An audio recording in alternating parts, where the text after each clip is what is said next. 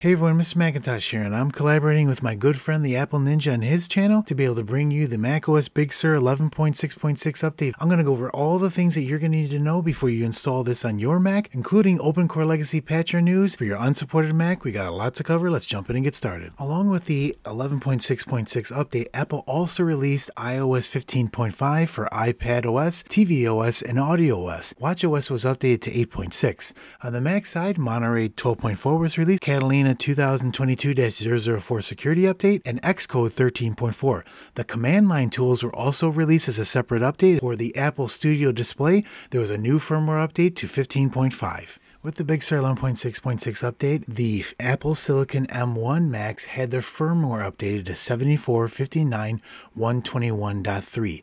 If you have a T2 Mac from 2018 to 2020 for Intel, your Bridge OS was updated to 19.16.15.071. Apple did release a full installer for macOS Big Sur, so there it is. The 11.6.6 update is there. But if you have an Apple Silicon M1 Mac, Apple did stop creating IPSW restore files at 11.6. So if you have to restore with Apple Configurator 2, you have to go all the way back to 11.6. When we go into system preferences to update macOS Big Sur with the latest security updates, Apple gets a little interesting here because they really are pushing you to macOS Monterey. For example, hey, you have an update here, install 12.4, upgrade now. Simple as that, right? Well, and that's fine. If you're ready to make the move to Monterey, you can click here and it'll download and upgrade to your macOS Monterey. But if you want to stay in macOS Big Sur, you actually have to click on this more info button to even see the next updates. After clicking there, you can see now the macOS Big Sur 11.6.6 update is 2.61 gigabytes, and you'll also notice that there's a separate Safari update for 15.5. Keep in mind, sometimes the Safari update lags a little bit behind, so if you don't see that right off the bat, that's okay. It will come later and you can install it in software update becomes available. Now, if you keep both of these check marked and hit install now, they'll both download and will install in order. The macOS Big Sur 11.6.6 update will prepare and get ready first, and then Safari will install, and then the system will restart to install the Big Sur update. How long did it take to install the 11.6.6 update? I always keep track of the entire installation process. Once it's done downloading the update and software update, it'll begin to prepare the update. The preparation time only took seven minutes and then I was prompted to restart. After the restart, the actual installation time took only 17 minutes and then we were back to a usable desktop after 24 minutes. And that's exactly the same time as the 11.6.5 update. The build version of 11.6.6 update is 20G624. And I go over that because just in case you installed a beta release or a previous version and you wanted to make sure you are on the public version, that's a way to tell because the release candidate of the 11.6.6 update was the same as the public release, and then you know you don't have to install an update after that. I took a quick screenshot of the system storage before we installed the 11.6.6 update, and the system was showing as 15.32 gigabytes, and that's Mac OS Big Sur.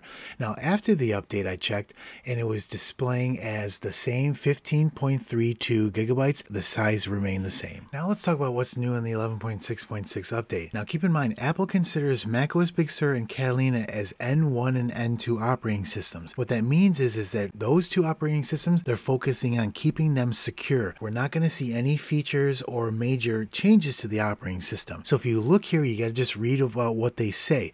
This update is recommended for all users and improves the security of macOS.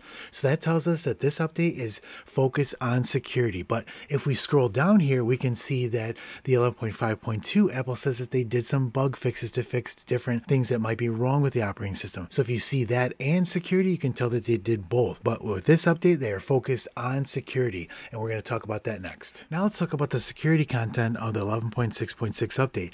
Apple fixed 39 separate security vulnerabilities in this update, and this is one of the largest security patch updates that I can remember in the last couple months. And it's great to see a lot of the security researchers putting in their vulnerabilities and Apple fixing them. But you might remember when 12.3.1 hit, Apple did not release an associated security update for Big Sur and Catalina.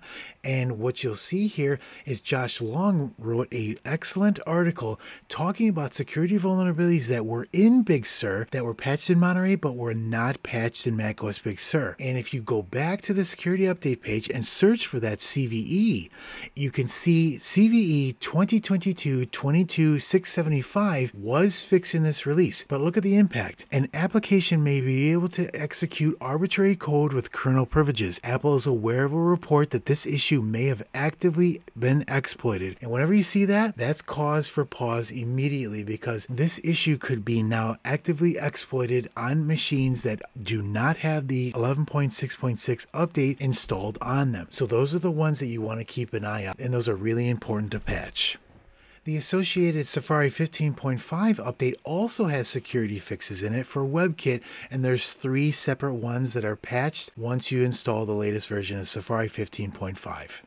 Now let's go over some benchmarks for the update. The score that was taken at the 11.6.5 update was 1739 and a 7696. And after installing the 11.6.6 update, it was a 1734 and a 7612. And that's exactly what we want to see. We don't want to see any wide ranging changes in the benchmarks that could detect problems with the update. Now let's talk about some OpenCore Legacy patcher news for your unsupported Mac running Big Sur. After my Monterey 12.4 video hit today, there was a new version of OpenCore Legacy patcher that was released 0.4.5 and I used that version to be able to update this early 2013 15 inch MacBook Pro to 11.6.6 and it installed great with no issues whatsoever. Now keep in mind you don't have to jump to 0.4.5 but you can and it's always recommended to use the latest version of OpenCore Legacy Patcher before you update your system. Now keep in mind remember the 0.4.4 update gave you automatic root patching so to get that going before the update run this here and to see if you need need any patches. If you don't, don't worry about it. You don't even need them like in this system. But if you do click start root patching, it'll install the automatic patching system.